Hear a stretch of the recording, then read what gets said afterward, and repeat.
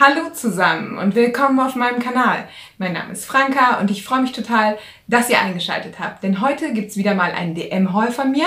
Und zwar nicht nur von mir alleine, sondern ich habe mich zusammengetan mit der lieben Astrid vom Kanal Rockin' Foxy. Ich verlinke sie euch hier oben in einer Infokarte. Und wir beide haben uns überlegt, ähm, dass wir euch eine tolle Verlosung direkt am Start des Jahres bieten wollen. Äh, die ganzen Details dazu findet ihr unten in der Infobox und natürlich auch am Ende des Videos. Die Astrid macht eine Verlosung auf ihrem Kanal. Ich mache eine hier. Wir ziehen jeweils einen Gewinner. Also können am Ende zwei Leute gewinnen. Die einzige Bedingung ist, dass ihr uns beide abonniert, dem Video einen Daumen nach oben gebt, wenn es euch gefällt und natürlich kommentiert mit dem Hashtag DM.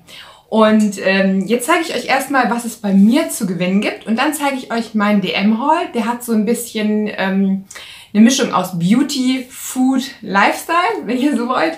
Und äh, ich habe aber noch so viele coole Sachen hier, die es gar nicht beim DM gibt, sondern eigentlich eher beim Douglas. Aber ich wollte es trotzdem euch jetzt verlosen, weil ich dachte, es gefällt euch vielleicht. Und zwar das erste coole, was es von mir gibt, ist eine zu Eva. Wunderschöne Farben, ist genau meine Richtung. Und als ich die bekommen hatte, die habe ich, glaube ich, in der Goodie Bag drin gehabt. Die kostet um die 15, 20 Euro. Ähm, wusste ich direkt, dass ich sie verlosen werde, weil ich habe sehr viele Paletten mit diesen Farbtönen. Aber ich will euch nur eins sagen, die lila Töne sehen hammermäßig aus. Diese Töne hier oben, damit könnt ihr richtig schöne neutrale Looks schminken und hier unten habt ihr Pop of Color. Also ich glaube, diese Palette ist richtig, richtig gut. Und ähm, damit der Lidschatten-Look perfekt wird, gibt es noch dazu einen grauen Kajal von Alverde und von Ebelin. Das hatte ich nämlich in meinem letzten DM-Haul gekauft. Und äh, da ich die so gut fand, habe ich gedacht, ach, ich verlose euch das lieber. Und zwar diesen Pinsel, der oben einen Blender hat und unten einen ähm, ja, Smudger, wenn ihr so wollt, beziehungsweise so einen etwas dickeren äh, Präzisionspinsel. Damit könnt ihr zum Beispiel im inneren Augenwinkel highlighten oder auch am unteren Wimpernkranz so ein bisschen verwischen. Also das finde ich eigentlich ziemlich cool und deswegen wollte ich euch das gerne verlosen. Was ihr dafür tun müsst, ist natürlich Abonnent meines Kanals sein, aber auch Abonnent von der Astrid sein, äh, weil wir das diesmal zusammen machen. Ansonsten machen wir ja immer auch häufig Verlosungen alleine auf unseren Kanälen. Das heißt, äh, wenn ihr ähm, bei ihr vorbei, schaut auf jeden Fall bei ihr vorbei. Sie ist, macht ähnliche Videos wie ich auch Hauls, Unboxings und Reviews. Allerdings ist sie ein paar Jahre jünger, bestimmt zehn Jahre würde ich jetzt mal schätzen. Insofern äh, ist das vielleicht auch für die Jüngeren von euch auch interessant. Sie ist auch blond und ähm, eine ganz liebe und eine ganz nette Art auch an sich. Ja, und deswegen guckt vorbei. Sie verlost auf jeden Fall eine Essenspalette und noch ein paar andere Sachen. Ich blende euch hier mal ein Bild davon ein, was sie verlost. Es sieht auf jeden Fall sehr interessant und sehr cool aus und ähm, schaut auf jeden Fall bei der Astrid vorbei, dann könnt ihr dort nämlich auch noch teilnehmen und so habt ihr quasi doppelte Chancen. Und das ist doch eigentlich nicht schlecht. okay, so ihr Lieben, jetzt fangen wir mal an mit meinem DM-Haul, was ich gekauft habe. Ich habe ein bisschen was gekauft, was ich nachkaufe und ein paar Sachen, die ich ganz neu habe. Und da wollte ich euch auch mal fragen, ob ihr die Sachen vielleicht auch schon mal gekauft habt, ob ihr da Erfahrung mit habt.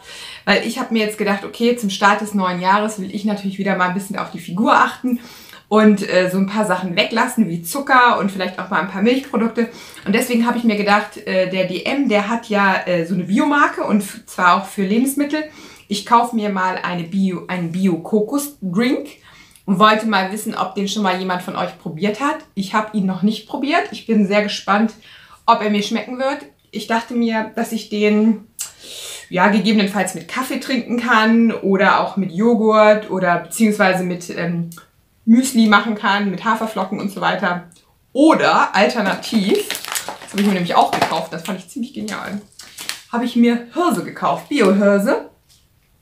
Weil Hirse hat wohl den Vorteil, sie ist tatsächlich richtig glutenfrei. Und ich glaube, das ist das einzige Getreide oder mit eins der ganz wenigen Getreide, die tatsächlich glutenfrei ist. Und mh, mm, ja, dann habe ich mir gedacht, die kann ich mir süß zubereiten als Hirsebrei. Das kann ich mit Gemüse zusammen machen. Und ich wollte einfach mal so ein kleines bisschen meine Ernährung umstellen, gerade nach dieser ganzen Schlemmerei. Und äh, ich habe so ein Buch gelesen, Plant Paradox. Und da darf man Kohlenhydrate essen, viele gesunde Fette und vor allen Dingen geht wohl auch Hirse. Und deswegen habe ich mir gedacht, okay, die Hirse muss mit. Und wenn ich es mir süß machen will, also als süßes Gericht, dachte ich mir, könnte ich das ja auch ganz gut mit diesem Kokosdrink aufkochen. Dann wird es nicht ganz so fettig als mit Kokosmilch. War so meine Idee. Und um meinen Kaffee ähm, auch noch ein bisschen Pep zu verleihen, habe ich mir hier von Prova Mehl auch noch eine Mandelmilch gekauft. Ähm, ungesüßt natürlich, ohne Zucker. Ja, organisch, bio, organic, bio ist dasselbe. Äh, ja, und habe gedacht, mal gucken, wie das ist. Ich weiß nicht, hat das schon mal jemand von euch probiert? Würde mich total interessieren. Ich meine, Hirse kenne ich, das ist jetzt nicht das Ding. Aber so diese Mandelmilch hatte ich schon mal, hat mir auch schon mal nicht geschmeckt. Ich glaube aus einem Reformhaus. Und ähm, Kokosmilch generell Essig trinke ich total gerne. Aber hier ist es halt nicht so ex mit extrem viel Fett. Ne? Da sind nur 8% entfettetes Kokosfruchtfleisch drin und auch noch Meersalz. Uh. Naja, wer weiß, wie das schmeckt. Ich bin sehr gespannt. okay, ich glaube, das war's. Ach nee, mit dem Thema Essen war es das noch nicht ganz. Ich zeige noch zwei Produkte. Und zwar habe ich mir hier gekauft, auch im Zuge der Ernährung, so ein bisschen Optimierung.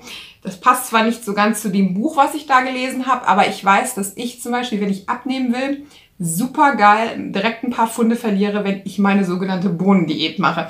Ich esse dann vorzugsweise Eier mit Bohnen am Morgen. Und wenn ich das so zwei, drei Wochen mache, purzeln die Funde extrem. Also ich esse dann kein Brot, ich nehme halt Bohnen oder Süßkartoffeln oder sowas dafür. Und deswegen habe ich mir gedacht, okay, als Snack zwischendurch diesen Thunfischsalat. El Gusto Mexico fand ich irgendwie interessant. Das ist mit Thunfisch, Kidneybohnen, Mais, Paprika und so weiter. Hörte sich gut an. Es ist aus MSC nachhaltiger Fischerei. Das finde ich immer sehr, sehr wichtig. Und mit Biogemüse. Und ich dachte halt als Snack zwischendurch. Das ist verdammt teuer. Ich meine, das hat irgendwie zwei, drei Euro gekostet.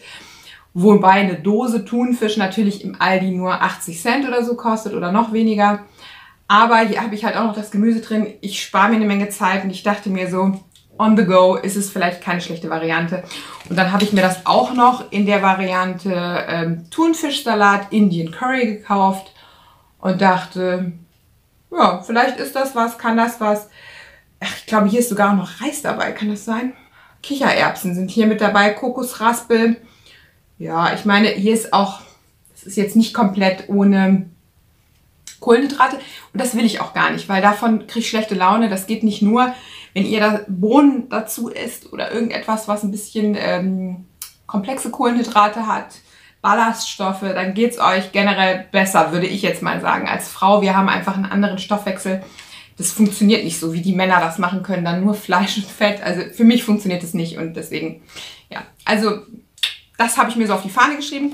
Dann habe ich ein neues Beauty-Produkt ausprobiert. Habe ich mir mitgenommen. Ich fand das mega interessant. Ich habe es schon ein paar Mal gesehen. Äh, war immer ein bisschen zu geizig, es mitzunehmen. Und zwar von IQ Infusion Deep Caring Hair Mask. Und zwar für Color Protect und Repair. Da habe ich gedacht, okay, mal schauen, wie das ist. Ah, Gott sei Dank, es ist zu. Ich wollte jetzt mal dran riechen, um euch mal zu sagen, wie es ist, weil da gibt es ja keinen Tester oder so.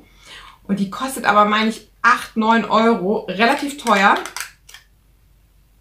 Oh, es riecht ganz gut. Es ist so rosa. Es riecht irgendwie auch ein bisschen minzig. Ach nee, das ist der Lavendel. Basilikumöl, äh, Wacholder und ähm, Lavendel. Aber angenehm, frisch. Irgendwie, ich glaube, fürs neue Jahr ist das eine gute Variante.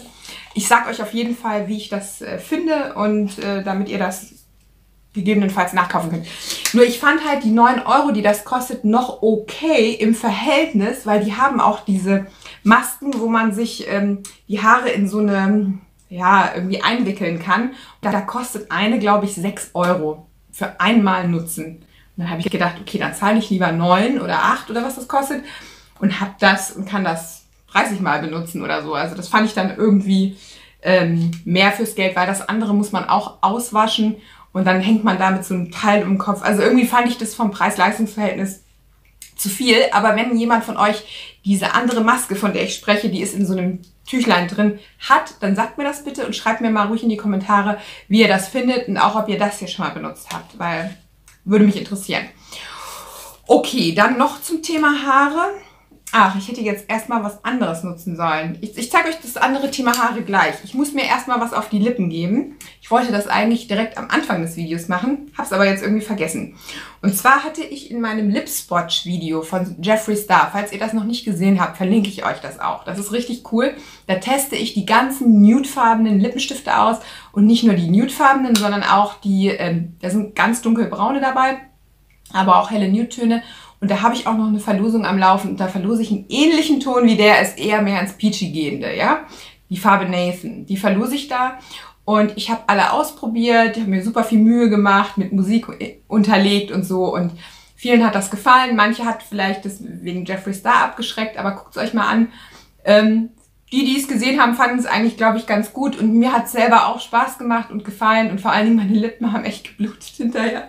Also so ein paar Tage später, als ich das dann so abgerubbelt habe. Also ich habe mich wirklich ins Zeug gelegt für euch. Das ist das, was ich sagen wollte. So. Und ich habe mir bei dem Video immer ein Liquid Lipstick aufgetragen und dann noch darüber ein Gloss, wenn es gepasst hat, wenn es jetzt nicht gerade so eine kackbraune Farbe war, wo dann auch ein Gloss nichts mehr gerettet hätte. Ne? So, und das war der helle Gloss von Catrice. Und die haben noch, ich habe den jetzt gerade, ich finde ihn gerade nicht. Auf jeden Fall habe ich mir jetzt noch zwei weitere gekauft. Einmal ähm, hier, das ist die Farbe Pink Up the Volume. Und dann einmal die Farbe äh, Nuts About Mary. Und ähm, die sind so toll, die sind ähnlich wie die von Dior. Und ich habe den ganz hellen in der Farbe 010. Ich habe ihn leider irgendwo in der Handtasche vergraben und ich wollte mir jetzt mh, hm, vielleicht mal den auftragen. Der ähm, schmeckt leicht minzig und macht die Lippen auf jeden Fall voller. Ach so, hier steht, dass da Menthol drin ist, genau. Also ich zeige euch mal Nuts About Mary. So schaut der Applikator aus.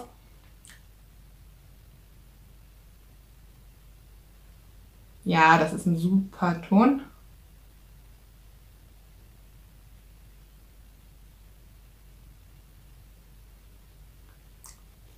Mhm. Ist total schön. Und ich habe hier übrigens jetzt gerade auf den Lippen gehabt von Essence den Color Boost Matte About Matte in der Farbe 03 Wanna Play. Und das ist jetzt in der Kombination mit diesem Catrice-Ding ziemlich gut. Ich mag überhaupt nicht äh, einen Liquid Lipstick pur drauf haben. Ich finde find das Gloss immer schöner. Und deswegen, den finde ich gut und den werde ich demnächst dann auch mal ausprobieren. Und äh, holt euch die. Die kosten 3,50 Euro und den Ton fand ich auch toll für einfach so drauf machen, ohne irgendetwas drunter. Hab ich mir gedacht, das ist vielleicht auch ganz schön. Okay, super. So können wir es auf jeden Fall schon mal lassen. Dann zeige ich euch das nächste, was ich für die Haare habe. Das ist einmal von John Frieda und das ist mir nämlich leer gegangen. Das ist auf jeden Fall ein Nachkaufprodukt. Allerdings habe ich das andere auch schon ewig lange. Und zwar ist das diese Zauberformel Seiden Finish Cream und die schmiere ich mir immer in die Haare. Das ist eigentlich so mein Standardprodukt täglich, wenn ich mir die Haare wasche. Ich wasche die nicht täglich, aber so alle zwei Tage. Dann mache ich mir das immer noch rein und gegen fliegende Haare ist das mir dann immer so ein bisschen was. Ah, vielleicht ein bisschen mehr. Ich habe da jetzt schon was drin. Ich will mir jetzt nicht zu viel reinmachen dann gebe ich mir das so in die Längen rein. Ich werde euch gerne mal mein Haarvideo äh, verlinken. Ich habe schon so ein Video gemacht, wie ich meine Haare pflege und was ich benutze und so weiter. Wenn euch das interessiert, könnt ihr euch das ja gerne nochmal anschauen. Und ähm, dann wollte ich eine Empfehlung aussprechen. Das habe ich jetzt nicht gekauft, weil ich es noch in klein habe und vor allen Dingen, weil ich es in groß nicht gefunden habe. Wenn ihr auf der Suche nach einem Trockenshampoo seid, dann äh, was ich jetzt hier letztens entdeckt habe von Batiste, und ich fand Batiste nicht immer gut, also vor allen Dingen nicht dieses Kirschzeug und so weiter, ne?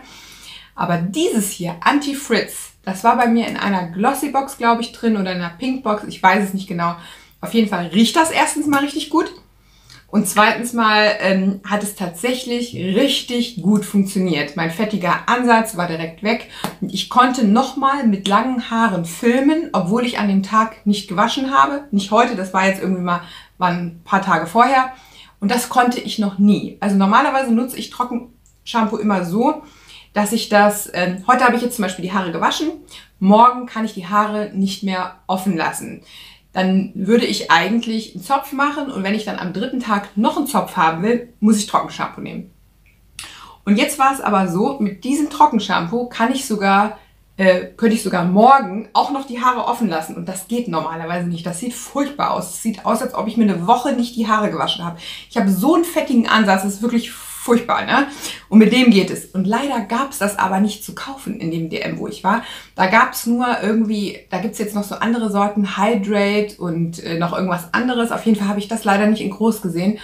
Und da mir das aber so gut gefallen hat, dieses Anti-Fritz für grauses, widerspenstiges Haar, habe ich gedacht, ich will, wenn dann das nachkaufen, weil die sind sehr teuer und ich will da eigentlich auch kein anderes probieren, wenn es dann nicht funktioniert. Und ähm, das ist das erste von Baptiste, was für mich richtig gut funktioniert. Insofern würde ich euch das empfehlen.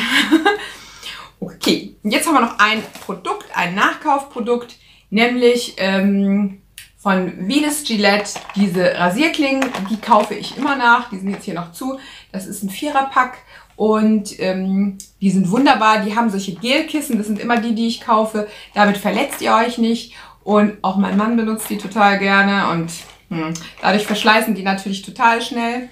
Und er nimmt das halt so für die Brusthaare und er meint, damit schneidet er sich halt nicht, weil das Problem ist mit diesen ganz normalen Nassrasierern für Männer, für ein ähm, für ein Bad, ähm, die haben halt keine Kissen und damit kannst du dich ultra schnell schneiden. Und deswegen, ich habe mir letztens mal mit seinem Rasierer die Beine rasiert und habe mich direkt äh, wirklich mehrfach geschnitten. Also das werde ich nicht mehr machen, deswegen musste ich die unbedingt nachkaufen. Ja, und dann habe ich mir noch Klopapier gekauft, das war im Angebot, aber das wollte ich euch jetzt nicht zeigen. Ansonsten war es das jetzt schon mit meinem kleinen DM-Haul. Ich hoffe, es hat euch gefallen. Schreibt mir mal eure Meinung dazu. Ganz klare Kaufempfehlung auf jeden Fall. Diese Lipglosse würde ich euch auf jeden Fall empfehlen. Dann war ja so ein bisschen ähm, auch noch Food-Bereich dabei. Und jetzt kommt dann bald auch irgendwann im Januar neue Produkte raus. Dann werde ich natürlich wieder zuschlagen, auch bei Catrice und Essence, wenn die ihre neuen Kollektionen rausbringen. Das dauert allerdings noch ein paar Tage und dann werde ich vielleicht auch demnächst mal wieder ein Fullface mit Catrice oder Essence Produkten schminken, wenn ihr da Lust zu habt. Habe ich da kein Problem mit, mache ich sehr gerne. Ähm, wie gesagt, wenn ihr jetzt an der Verlosung auch noch teilnehmen wollt, schaut gerne bei der Astrid auf dem Kanal vorbei. Die ist wirklich eine ganz liebe. Ich denke, die wird euch auch gefallen. Und ähm, ja, wenn ihr an der Verlosung teilnehmen wollt, abonniert uns beide, wenn ihr es noch nicht gemacht habt. Gebt dem Video einen Daumen nach oben und kommentiert mit dem Hashtag DM oder einfach, dass ihr teilnehmen wollt. Hashtag ist bei mir nie eine Pflicht. Das ist einfach nur für den Fall, dass man nicht, äh, dass nicht klar zu erkennen ist, dass ihr dass ihr das gewinnen wollt. Ne? Also wie gesagt, bei mir gibt's die coole zu Eva Palette, bei der Astrid gibt's glaube ich eine Essenspalette. Dann gibt's hier noch den äh, Ebelin äh, Blender und auch noch den ähm, Kajal von Alverde. Ja, und dann wünsche ich euch natürlich ganz viel Glück. Ich wünsche euch auch ganz viel Glück fürs neue Jahr und äh, dass all eure Ziele da in Erfüllung gehen und Wünsche. Und wir werden darüber vielleicht auch nochmal so ein Video machen. Ihr könnt mir gerne Vorschläge in die Kommentare schreiben, bin ich immer offen für. Und dann würde ich sagen, vielen Dank fürs Zuschauen. Hier verlinke ich euch noch zwei weitere Videos von mir. Hier könnt ihr mich abonnieren und dann hoffe ich, sehen wir uns das nächste Mal wieder. Bis dann.